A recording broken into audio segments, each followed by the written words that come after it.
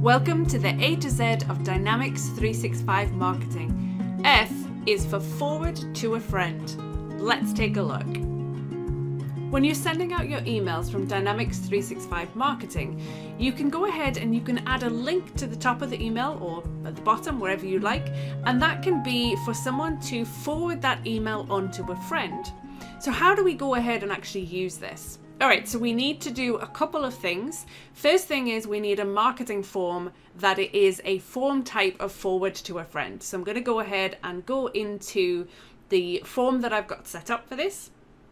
And what we're going to do is we'll go ahead and edit this. So if we put it into edit mode, and if I click on this block right here, when we add the form that has a form type, so up here, form type of forward to a friend, what we have is a forward to a friend section that we can set with different properties. So we can go ahead and we can say, well, how many potential recipients can we allow someone to actually set this up for?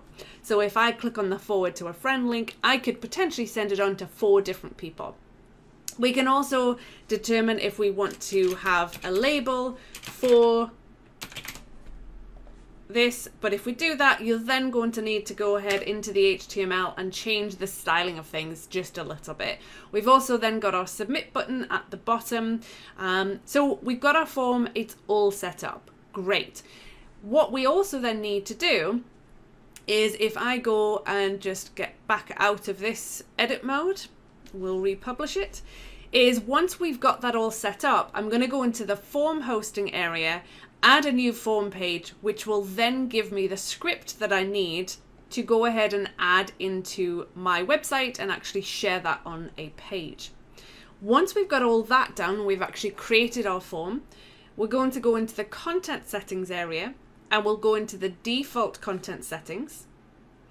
And from here, what we can do is we can edit the content settings and whatever the link is to that forward to a friend, I can paste it in here and say, that is the page that we want to take somebody to when they click on that forward to a friend link. That's where we want to take someone. All right, so let's cancel the edit for that. And now if I go into my marketing emails, and if we go into one of our emails, And let's go ahead and edit this.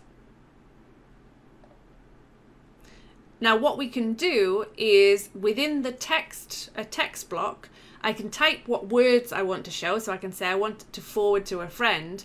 Once I've done that, if I select it, I then have a section where I can have a link and that link is I'm going to pull dynamic content from the content settings that we just edited. So if I click on the assist edit, we're basically doing dynamic content from the content settings record.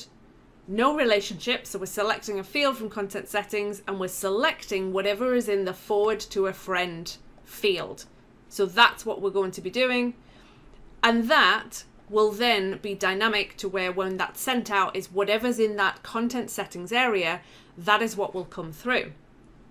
Now, if I go in here and I look at an email that I've received and I go to the forward to a friend, if I then click on that, that will then take me to this page and I can say, okay, I want to send this to,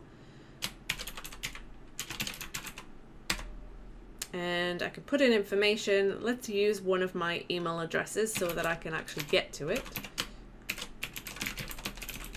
Now I could set that up for multiple people uh, up to four people and then I can go ahead and I can submit that. So we then see the message that says thank you for forwarding and that's it. Simple as that. So now that email can then be forwarded onto John Smith.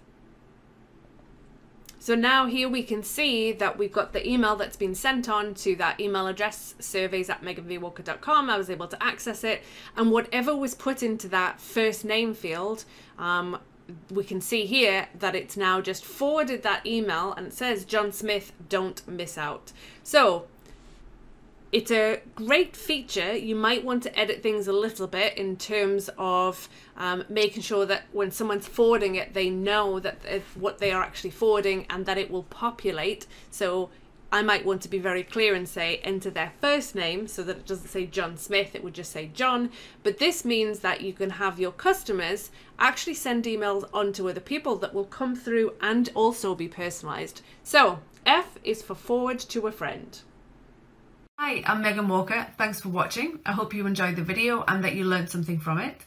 If you don't want to miss out on any other content, you can go ahead and click on my face below to subscribe. And if you want to watch the next video, you can do that by clicking over here and go ahead and get started. Thanks again.